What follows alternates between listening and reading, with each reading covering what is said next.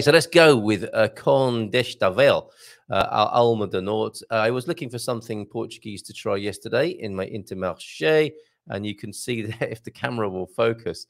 Uh, well, I'll read it to you. It has a uh, azeite composto por azeite uh, refinado e azeite virgem. So it's a combination, and we're going to taste it now, or I'm going to taste it now, of refined oils and of extra virgin as well. It's got lovely packaging, hasn't it? Like I said before, with that bit of filigree on the cover there in a traditional Portuguese style, and a beautiful shiny. Look at those glistening olives of different colors.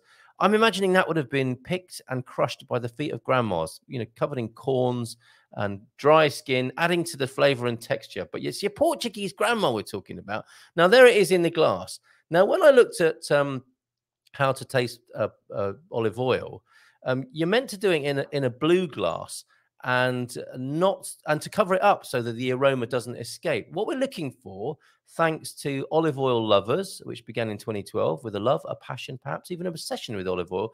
Is it intense or mild? Is it ripe or green? Is it fresh or does it have defects?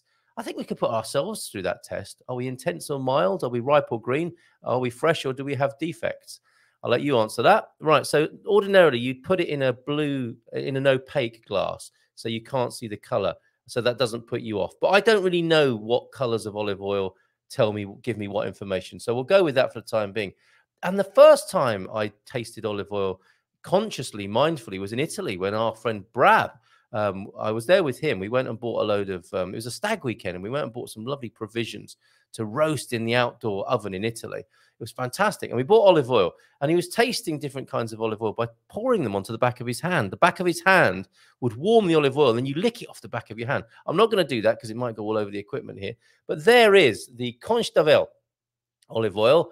And I'll tell you more about where this came from because it hasn't been crushed by the feet of grandmas or picked by grandmas. It's been picked by machines and made in a factory um, of some kind. Uh, more about that later. But I can still go ahead and see whether it's intense or mild, ripe or green, fresh or has defects. Let me put it on my hooter right now.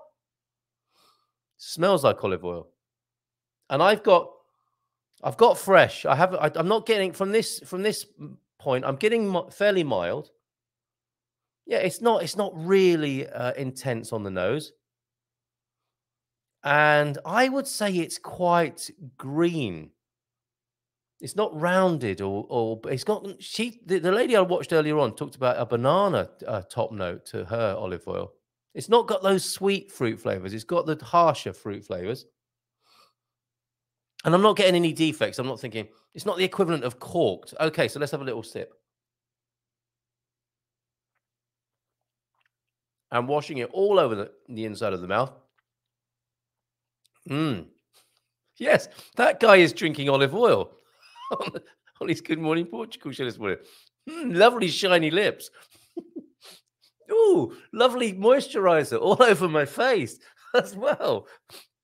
I won't go out in the sun afterwards because I'll end up with we're filming this weekend. And if I've wiped olive oil all over my face and then I go out in the intense Portuguese sunshine, I might get um, completely burnt like a lobster, uh, more than usual.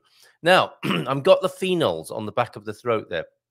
And she mentioned this. There is a the pepperiness that, that, that you will be looking for in an olive oil can burn the phenols can burn the back of the throat. So she said um, have something to cleanse your palate standing by. And she was using crisp green apple. I don't have that. I'm going to have to use water. But as we know, they're immiscible substances. So if they, it might not even touch the sides of the water, but definitely got that pepperiness on the back of the throat. I need to, another little sip to give you more flavors. It is, it's not too intense. So it's at the mild end, but it's still got that peppery finish. And I would say it's not got. Uh, um, uh, you meant to use virgin olive oil for cooking. You're not meant to, are you? But I would use this one more for cooking than I would on a salad. It's not got a sweetness uh, that I would want in a salad dressing all over my salad. But you could bring that out with with the citrus part of the salad dressing. So it's got it's got a nice texture. Um, the you know the oiliness, as it were, is is perfect. Um, it's got the pepperiness that you might be looking for. And I imagine that will all be intensified by a little bit of warmth or cooking, but not not a, an aliveness and a freshness that I'll be looking for from a from uh, to put in to have it raw and to put in, into a salad dressing.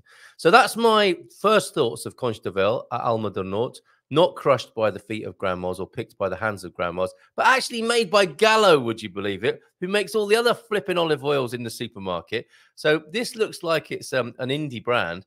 It's not, well, it might be an indie brand, but it's been bought up by Gallo and further too, I'm looking at, um, I, I, was searching Gallo to tell you uh, what I could about them. And I find on worstbrands.com a Gallo olive oil review. However, it's not the Gallows for Gallo. Um, it comes out quite well. And why it's called Worst Brands, this site, I don't know. But as a foodie, we're always searching for top quality olive oil. We're so excited when we discovered Gallo olive oil. Its flavor was amazing and the texture was superb. So even though, to be fair, um, you know, when you get to the scale of industrial olive oil made for the supermarkets, I think things are going to get a little bit um, compromised. You really want to be buying it from a local mill, don't you? A local cooperative. If you have to buy it from a supermarket, it sounds like Gallo isn't so bad, and they may have stopped harvesting at night and killing all the birds in the trees as well, which is something we used to talk about um, a couple of years back. I think they've stopped that uh, harsh practice now. That's in, of course, if ever they, as a particular company, they're involved in that. But I know some of the industrial scale producers were using like nets and hoovers in the night, and birds were being killed in the trees as when they were picking the olives and crushing them. So if you can go small scale, um, if if the only thing you can get in a supermarket is is this one made by Gallo or distributed by Gallo, it's not too bad. Um, and I think it was about six euros a bottle, so not not too bad. But all the oils have gone up, haven't they, in this so-called recent cost of living crisis? Um, well, it is a cost of living crisis, um, but um, as to why it has happened, I think we can refer to Hayek's earlier comment. Um, it's one minute past nine. How rude of me! Katia is waiting. I think she might have something to say about my olive oil tasting. Let's give her a nice big round of applause.